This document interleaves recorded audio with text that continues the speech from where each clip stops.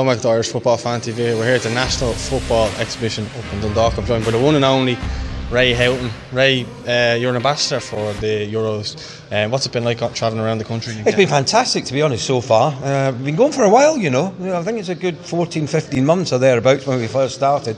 Been to numerous cities all around Ireland, just try to promote the tournament. I mean, it's 60 years, uh, the anniversary of it. It's been going since 1960. Started off with four teams, I think. We're up to 24. Yeah. Just shows you the implosion of football around Europe and how many uh, many countries want to get involved in this, and it just gets bigger and bigger. I think it's the second biggest tournament that's watched live uh, after Cup, after the World Cup number one and the Euros is number two. I think I think it's that's that's the, the facts about it. Uh, been absolutely incredible, and for us, you know, to have four games here, you know, three group stage matches in the one last 16, brilliant.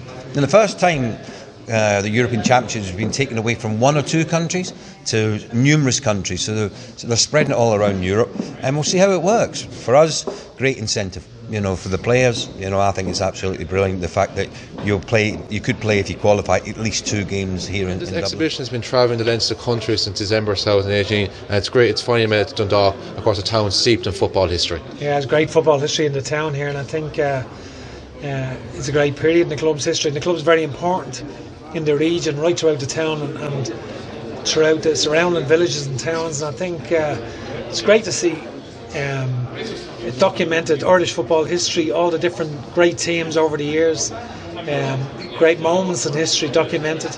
Uh, it's an interactive exhibition. It's also uh, it's great to view the jerseys and some of the stories from, from all the different areas. And it's it, you know it's it's a celebration of Irish football, and uh, you know, we, you know, amidst all the, there can be an element of negativity. You can't get away from the fact that 300,000 people play football in Ireland at all levels. It's the biggest participating sport, and when the Aviva Stadium is full and behind an Irish team, it's special. Great travelling away support and football is very important in Ireland. And I think it's great to see all it documented in the way that has been. You mentioned about documenting all the Irish, document all the past for Irish football. It also covers everything from the European Championships as well, right back to 1960. So it's great that it covers it all, particularly for younger generations. Yeah, you know, you're learning things all of the time and, and seeing, you know, so it's great, great for younger generations. You know, as you say, yeah, for for, for grandfathers and, and fathers and sons and daughters and coming in and, and, and, and, getting a picture of what, what it was like in different periods of history. To have this exhibition here in my hometown, it's, it, it's great, and uh, you know, I'm, I'm very proud to have been part of it. Yeah, just in terms of your memories of uh, the Euros, do you want to talk us through some of the good times? Obviously, I know you've only walked to the door, you probably haven't got a chance to look at everything yet, but just bring, does it bring back memories seeing all these photos? Ah, yeah, I mean, the Euros, I was there for the World Cups mainly. We I never actually played in the Euros, oh. believe it or not.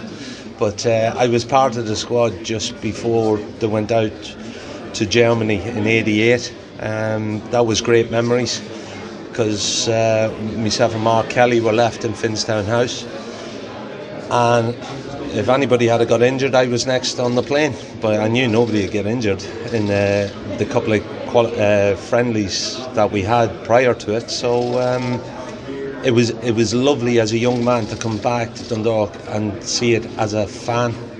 And then in 1990, I had the privilege of playing in the World Cup, but telling all the boys what it was like back home, and they didn't really believe me until the videos came out. And uh, sure enough, when it, when the videos came out, they realised what they were doing for the country. First of all, okay, so it's a shinner, right? Wayne Rooney, remember Wayne Rooney's shinner yeah. at Old Trafford? So it's the exact same. But I threw the ball to Mick because I was warming up. And I went out for a throw and I threw it, Mick threw it in, so I played my part in that goal. Well, I, if I didn't throw it to him, it wouldn't have happened. I wish we had that on video. Then. Looking back, the nostalgia around here is brilliant and it makes you realise, you know, uh, how fortunate we were as a team to be together and create moments, but also, you know, the people that, that we aspired to. Uh, to be like, you know, the people that came before us, seen all the all the memorabilia and uh, you know, the, the, the, recording of the times before we got there, you know, the people who made the game what it was back in the day, because, you know, football wasn't easy in this country. You had the GAA and you had uh, a lot of people thinking that football was a garrison game in the early days, and and so uh, it, it was a difficult journey. But those those heroes that were there in the 20s, 30s, 40s, 50s, you know, 60s, to see them in, in glory here is brilliant because we were charged with trying to emulate them and bring the game further. And without them, you know, I don't think you know, we, would have had no history. We probably wouldn't have had the team come together the way we did, and we wouldn't have had the exciting times under Jack and Mick. I mean, I, I had 16 years, uh, you know, playing for, for the Ireland senior team. The greatest time in my life. You know, the jersey meant so much to me. But when you come here today and you see what, you know, you can feel it in, in generations before me. And uh, the bit I like the most uh, uh, about today is the colour of fan around everything that's happening. This just isn't a load of pictures of players and a load of jerseys belong to players. You see the shots here, you see the, the videos that we're looking at here, what it meant to the fans. I think the connection that we had and, and will always have between our team and fans. Uh, you know it wins awards every time we go to tournaments. You know it's very special, but I think it's um, it's a real proof check of uh, how strong that connection is. And I, am feeling really good. Football starting this weekend as well.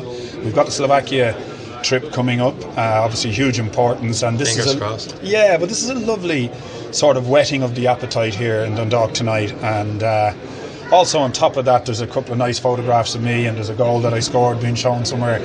So. Uh, you know, for, for the old ego as well. Thanks very much for your time. Pleasure. All right, Absolutely. Thanks very much for joining us on Irish Football Fan TV and best luck with the rest of the campaign with under 21s. Go catch up with your former teammates. All right. Thank Have a look at this tournament in the summer and see how football can repay the exchequer. Well, Noel, I can't say anything more than that. Thanks very much You're for your welcome. time. All right, Good to see you gents. again. You too.